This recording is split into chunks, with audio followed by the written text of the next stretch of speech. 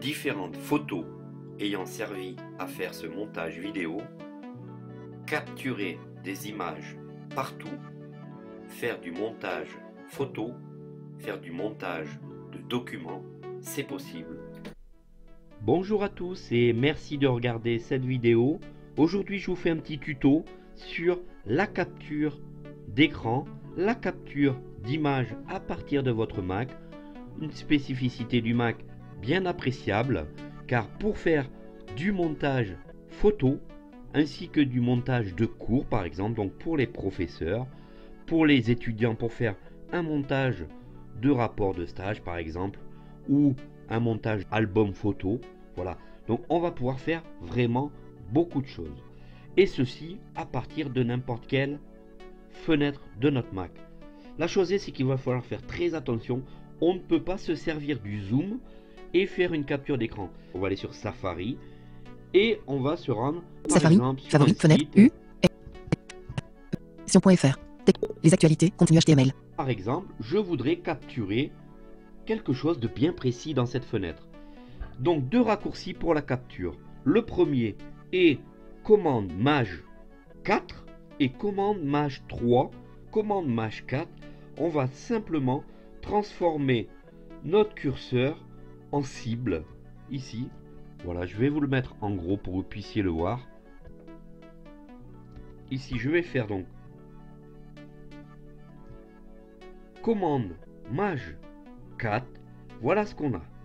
On a donc notre curseur qui se transforme en cible. Si je fais échappe, il s'enlève.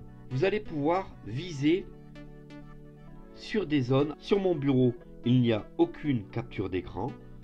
Donc en les faisant au fur et à mesure, je vous ferai montrer ce qui va se passer. Donc par exemple, je voudrais capturer, que je vais entourer la zone que je veux capturer. Une fois la zone capturée, en fait, elle devient grisée. Et lorsque je lâche la souris, Solution pro. il nous fait un bruit d'appareil photo pour nous dire qu'il a bien capturé cet endroit-là. Mage 4. Les Et actualités, voilà, je viens de prendre en fait un endroit bien précis dans la page internet. Ce qui est appréciable, grâce à cette technique, on va pouvoir faire dans Pages, dans Word, dans TextEdit ou dans tout autre éditeur de texte, on va pouvoir monter quelque chose de très propre avec de belles images.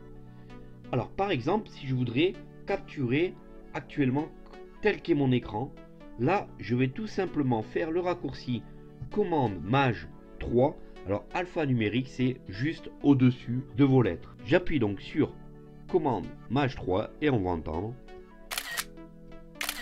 Ici, lorsque je vais faire espace, je vais Maintenant, voir coup ma fenêtre. capture d'écran. Donc on la voit telle qu'elle est maintenant.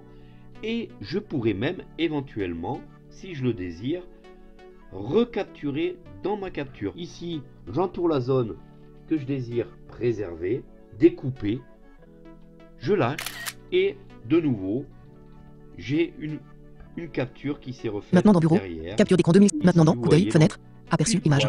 on a l'endroit que l'on désirait préserver. Alors, Maintenant dans bureau, ici, j'appuie simplement pour un aperçu avec la barre d'espace. Mais je voudrais que ça prenne tout mon écran. Je ferai donc le raccourci Option ou Alt, comme vous désirez, avec espace. Maintenant là, dans fenêtre. Aperçu, image. Finder à une nouvelle fenêtre. En grand Vous êtes actuellement sur une image. L'écran de Mac. On va remonter pour Maintenant voir en fenêtre. grand. On va voir le Finder à une nouvelle fenêtre. de notre capture. Ma- en grand écran. Finder à une nouvelle fenêtre. capture tout à l'heure. Et c'est très propre en termes de lissage. Maintenant de dans bureau. On va par exemple revenir sur une photo, quelque chose Vous êtes actuellement très, sur une image. très minutieux. Alors, faut faire attention, c'est ce que je vous disais tout à l'heure. Si je zoome, ici je vais zoomer Zoom 2,2 Avec- x. le zoom du Mac. Et si je fais ma capture, malheureusement, par exemple, je voudrais, calcu- je voudrais capturer que ici ce bouton, je vais l'entourer. Si je lâche, on va aller voir le résultat Maintenant dans bureau, tout en bas. cap- Capture d'écran. Maintenant dans coup d'œil, fenêtre. Aperçu, image. Voilà ce qui se passe. La capture n'est pas faite. Donc il faut éviter de zoomer pour faire une capture d'image car celle-ci ne fonctionnera pas. Voilà, donc j'espère que ce, petit tuto sur la capture d'image pour le montage de dossiers pour le montage de fichiers vous aura plu. Si c'est le cas, n'hésitez pas à me mettre un pouce bleu, de vous abonner à la chaîne pour les prochaines vidéos. Et moi je vous dis un grand merci et à la prochaine vidéo. Salut